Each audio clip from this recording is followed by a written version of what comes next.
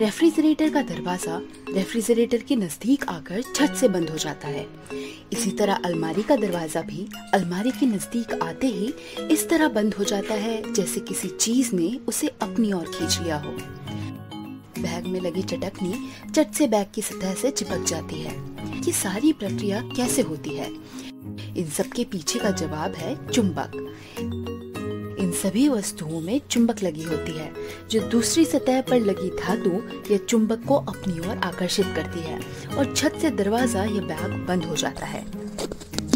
चुंबक को हम बचपन से देखते आ रहे हैं, लेकिन चुंबक क्या होती है? वह कुछ धातुओं को अपनी ओर आकर्षित करती है और कुछ को नहीं।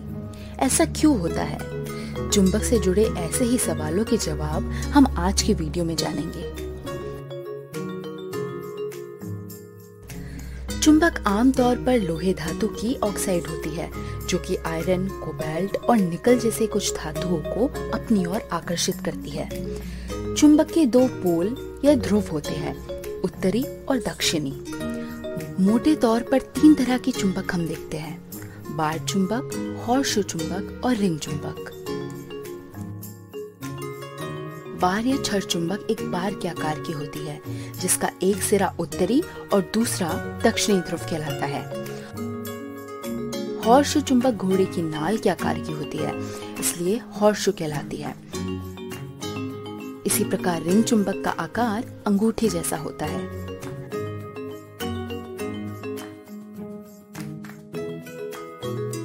यदि दो छड़ चुंबक ली जाए तो ये देखा जाता है कि एक का उत्तरी ध्रुव दूसरे के दक्षिणी ध्रुव को अपनी ओर आकर्षित करता है। और दोनों के समान ध्रुव एक दूसरे को प्रतिकर्षित। हम जानते हैं कि चुंबक लोहे को आकर्षित करती है और लकड़ी को नहीं।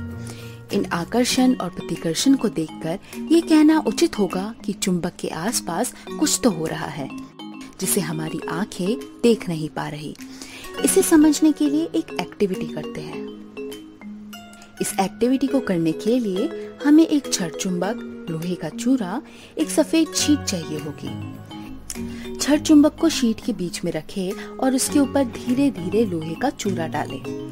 फिर धीरे धीरे शीट पर थपकी मारे। थपकी मारने की प्रक्रिया को दो तीन बार करें। यदि हम चूरे को ध्यान से देखें तो हम एक पैटर्न बनता नज़र आएगा। ये वही पैटर्न है, जिसे हमारी आँखें नहीं देख पा रही थी। ये पैटर्न चुंबक द्वारा लोहे के चूरे पर लगाए गए बल को दर्शाता है। जिस क्षेत्र में ये बल लग रहा है, उस क्षेत्र को चुंबकीय क्षेत्र या अंग्रेज़ी में मैग्नेटिक फ़ील्ड कहते हैं।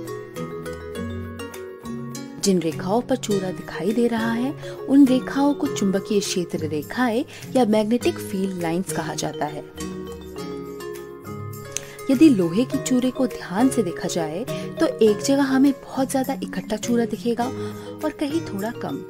ये इकट्ठा चूरा चुंबकीय क्षेत्र की ताकत या प्रबलता को दिखाता है। साथ ही रेखाओं की दिशा भी परिपाटी के मुताबिक उत्तर से दक्षिण की ओर ली जाती है। चुंबक के अंदर यही दिशा दक्षिण से उत्तर की तरफ़ होती है। तो आज हमने इंसानी आँखों से ना दिखने वाले चुंबकीय क्षेत्र के बारे में जाना और साथ ही क्षेत्र रेखाओं को भी समझा। और मुझे यकीन है कि अगली बार आप जब भी किसी भी धातु को चुंबक से आकर्षित होते हुए देखेंगे, तब चुंबकीय क्षेत्र को ध्यान में रखेंगे और जिन्हें इस छिपे रहस्य के बारे में नहीं पता, उन्हें भी बताएँगे।